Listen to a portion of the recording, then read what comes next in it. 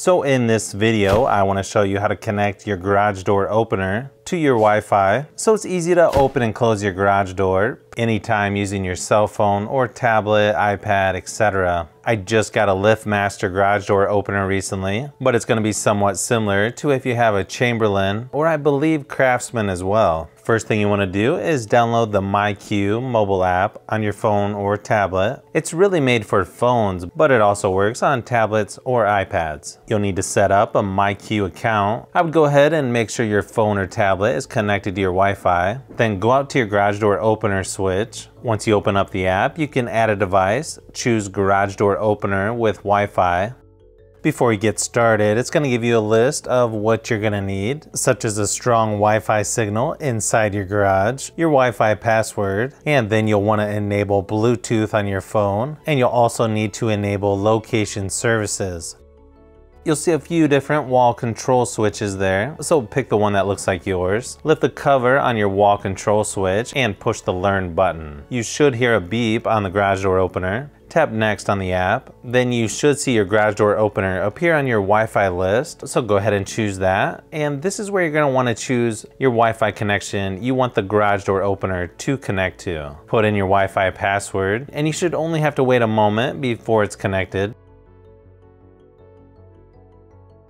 You can give your garage door opener a name if you like, then hit next. Now as far as getting it connected to your Wi-Fi, that's pretty much most of the steps right there. Once you open the app, to open and close the garage door, it's really simple. Just hit the large garage door icon in the middle to open, and your garage door should open immediately.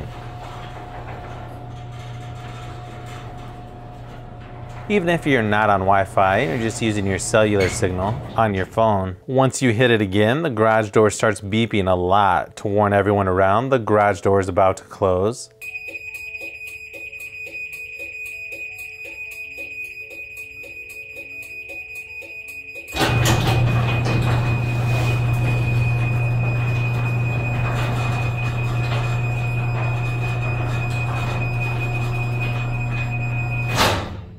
Now they also have a pretty cool feature you can add, which is where if you have Amazon Prime, you can link your MyQ app with your Prime membership for in-garage deliveries using the Key by Amazon app, which could definitely come in handy sometimes, but I'm not sure if I trust just anyone to have access to my garage. So that one's sort of up to you.